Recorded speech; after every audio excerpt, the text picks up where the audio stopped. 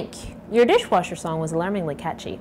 I make appliance repair videos, so I would like to think that I'm professionally qualified to critique your dishwasher loading technique. Steve, our appliance tech and service guru, is unavailable, so you're stuck with me. Unfortunately, I have the kind of tone deafness that is associated with actual deafness, so this will be a fairly boring, non-musical video.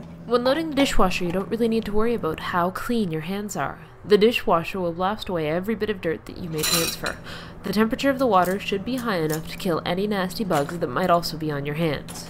It's when unloading the dishwasher that you need to consider hand cleanliness, unless it just grosses you out to touch the parts that were in someone's mouth. I totally get that.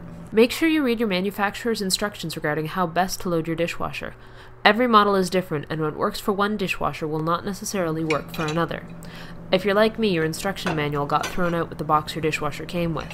There are lots of online resources that will help you find the proper instructions. Try not to put anything that impedes the spray pattern on the lower rack.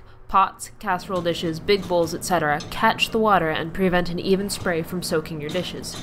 You'll have witnessed this if you've ever opened your dishwasher and found a cup tipped over, full of grimy water and food bits. The spray arm has to be able to rotate completely without obstruction, so nothing tall in the dishwasher either. Try to face the dirty part of the dishes towards the source of the water.